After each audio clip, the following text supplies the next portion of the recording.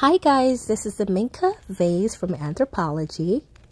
And right here, I just removed it from its packaging.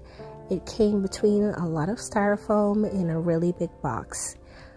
And it's going to be very messy.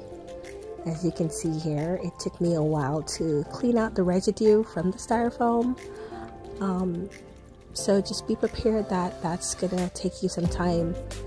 But once you're able to do that, then everything will look normal. And I'll show you what it looks like on my coffee table.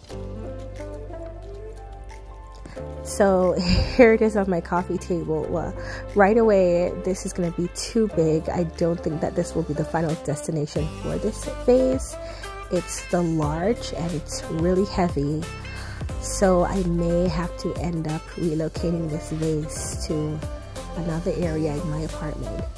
Um, but overall, it's gorgeous. It's very unique looking, um, handmade, definitely a showstopper. I got a little crack right there in mine. Uh, I did think about possibly returning it, but I might just keep it and work with it. We'll see. But for now, I'm really pleased with this vase. You can put stems in it leaves, uh, artificial plants or flowers.